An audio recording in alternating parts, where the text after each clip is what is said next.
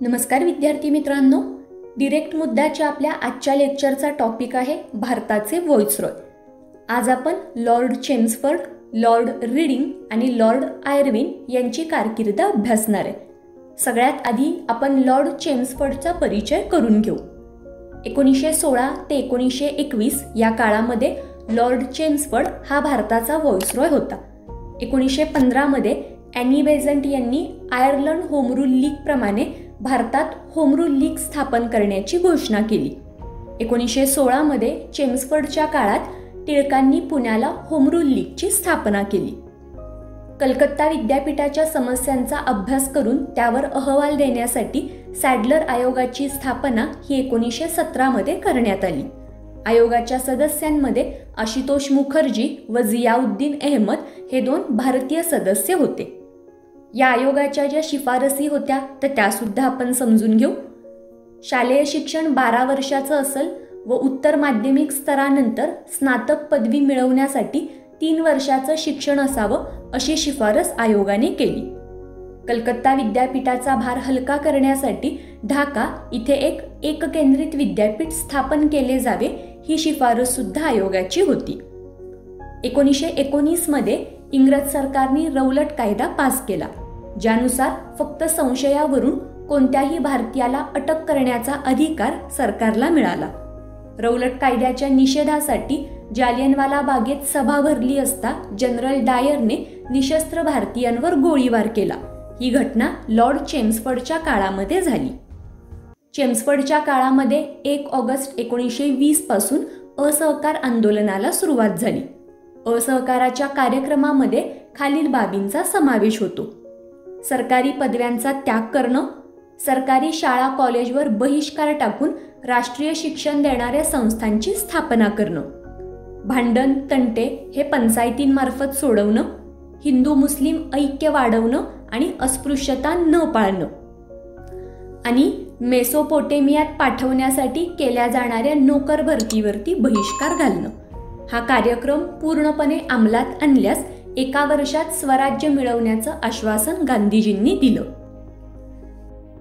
जमिनीच्या तीन तृतीयांश क्षेत्रावरती निळीच्या लागवडीची सक्ती करणारा करार होता ज्याला तीन कठिया असं म्हटलं जात.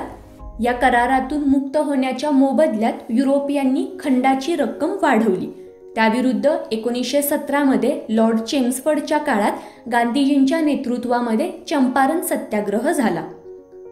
अहमदाबाद गिरणी कामगारांचा लढा आणि खेडा असहकार आंदोलनसुद्धा लॉर्ड चेम्सफर्डच्या काळामध्ये झालं. एकोणीसशे सोळाच्या लखनौ अधिवेशनामध्ये काँग्रेस व लीगचा समझोता झाला. चेम्सफर्डच्याच काळामध्ये एकोणीसशे एकोणीसचा मॉन्टेक्यू चेम्सफर्ड सुधारणा कायदा संमत करण्यात आला. आता आपण पुढे लॉर्ड रीडिंग यांच्याबद्दल माहिती बघू. एकोणीसशे एकवीस ते एकोणीसशे पंचवीस या काळात लॉर्ड रीडिंग हा भारताचा व्हॉइसरॉय होता. एकोणीसशे बावीसमध्ये चौरी चौरा इथे असहकार आंदोलनाला हिंसक वळण लागलं त्यामुळे गांधीजींनी हे आंदोलन स्थगित केलं. एकोणीसशे तेवीसमध्ये लॉर्ड रीडिंगच्या काळात स्वराज्य पक्षाची स्थापना झाली. एकोणीसशे एकवीसमध्ये मोपलांचं बंड सुद्धा रीडिंगच्या काळामध्ये झालं. केरळमधील मलबार प्रांतामध्ये जास्तीचे भूमिकर जमिनीवरून बेदखल करणं या कारणांवरून हे बंड झालेलं होतं. एकोणीसशे पंचवीसमधील काकोरी कट ही घटना सुद्धा लॉर्ड रीडिंगच्या काळामध्ये झाली. कापसावरील एक्साईज कर त्याच्या काळामध्ये काढण्यात आला. आता आपण पुढे लॉर्ड आयर्विन यांची ओळख करून घेऊया. एकोणीसशे सव्वीस ते एकोणीसशे एकतीस या काळामध्ये लॉर्ड आयर्विन हा भारताचा व्हॉइसरॉय होता. एकोणीसशे एकोणीसच्या कायद्याचं मूल्यमापन करण्यासाठी एकोणीसशे अठ्ठावीसमध्ये सायमन कमिशन भारतामध्ये आलं. कमिशनमध्ये एकही भारतीय सदस्य नसल्याने भारतीयांनी या कमिशनला विरोध केला. एकोणीसशे एकोणतीसमध्ये काँग्रेसच्या लाहोर अधिवेशनामध्ये संपूर्ण स्वराज्याची मागणी करण्यात आली.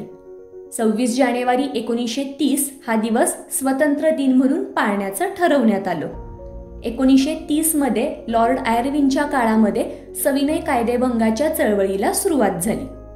गांधीजींनी मिठाचा सत्याग्रह करण्याचं ठरवलं. बारा मार्च ते पाच एप्रिल एकोणीसशे तीसला साबरमती ते दांडी हे अंतर गांधीजींनी पूर्ण केलं. लाला लजपत राय यांच्या मृत्यूचा बदला घेण्यासाठी क्रांतिकारकांनी ब्रिटिश अधिकारी सॉन्डर्सची हत्यासुद्धा लॉर्ड आयर्विनच्या काळामध्ये केली. तसंच प्रथम गोलमेज परिषदसुद्धा त्याच्या काळामध्ये पार पडली. आपल्या आजच्या डिरेक्ट मुद्दा या लेक्चरवरती आधारित एक सेल्फ ॲनालिसिस क्वेश्चन तुम्हा सर्वांसाठी. खालीलपैकी योग्य विधान किंवा विधाने ओळखा.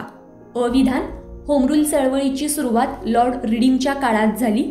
ब स्वराज्य पक्षाची स्थापना एकोणीसशे तेवीसमध्ये आयर्विनच्या काळामध्ये झाली आणि क विधान पहिली गोलमेज परिषद ही लॉर्ड आयर्विनच्या काळामध्ये झाली.